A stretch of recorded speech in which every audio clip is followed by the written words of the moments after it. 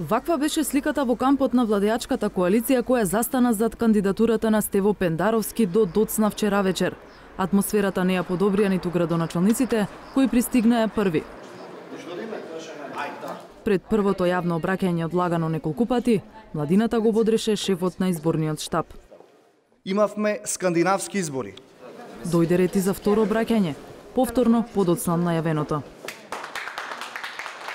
И ВМРО ДПМН да бадиела се храбрат. Единствената врева во кампот на Пендаровски ја правеа новинарските екипи со известувањата во живо.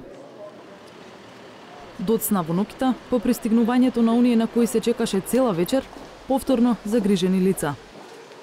Од главниот коалициски партнер Стево Пендаровски доби кренат палец од министерот за образование Арбара Деми, кој цела вечер објаснуваше пред новинарите дека ДУИ не бойкотирала. На главната пресконференција и предходеше координација, а потоа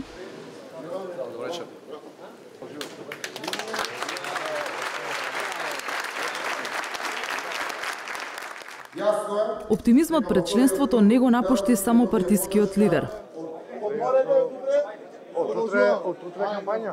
Секако во вториот круг се надеваме и очекуваме многу поголема подршка. Како ги ги мотивирате албанците?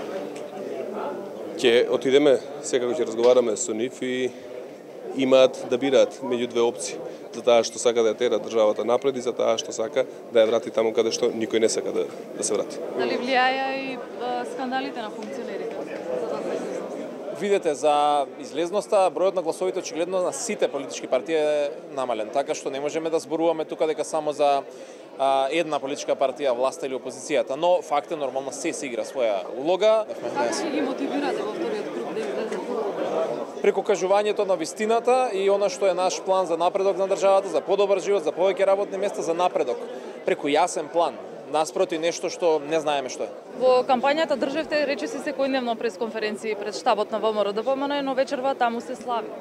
Секако прес конференциите околу обелодувањето на вистината за криминалната структура во ВМРО ДПМН нема да престанат. Но сепак таму слават Ние сме како го коментирате?